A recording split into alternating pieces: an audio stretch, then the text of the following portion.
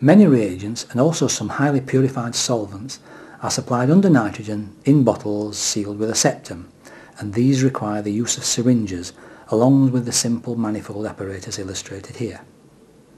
The manifold is supplied with a steady stream of nitrogen and the oil-filled bubbler at the end is useful to judge the flow rate.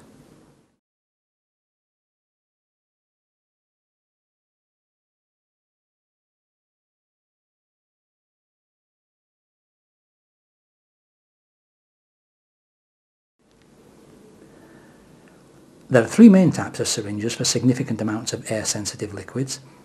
The first is a disposable plastic syringe which offers a tight seal between the barrel and piston but no permanent lock connection to the needle. Hence these need to be used with a little care if the needle is not to come adrift in the middle of your work. The syringe shown has a rubber seal at the end of the piston and this can occasionally swell up with some chemicals and cause difficulties though you can usually get away with a single use of these syringes for most applications. Disposable syringes without this rubber seal are quite common also and may be a safer bet with most chemicals. The second sort has a glass piston and barrel which does not give quite such a good seal but has a Luer lock attachment to fix the needle more efficiently.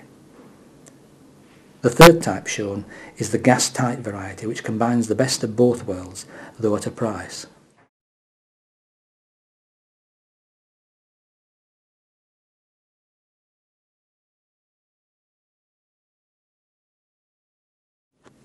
The bottle of air-sensitive reagent or solvent should be clamped securely in place under the nitrogen supply provided by the manifold. The syringe may then be purged with nitrogen by inserting the needle into the dead space above the solution and sucking up nitrogen before releasing it back into the atmosphere. This is usually performed at least twice with particularly air-sensitive reagents. The needle is then inserted into the solution and the required amount withdrawn.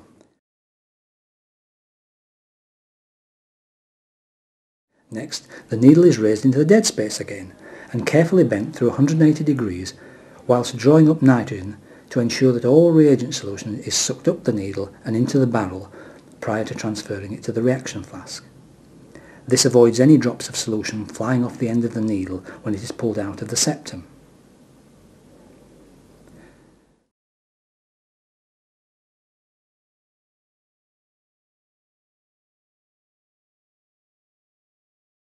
The syringe is subsequently raised to its original position and the solution is then added slowly to the reaction flask, which is usually equipped with a stirrer bar, thermometer and of course its own nitrogen supply.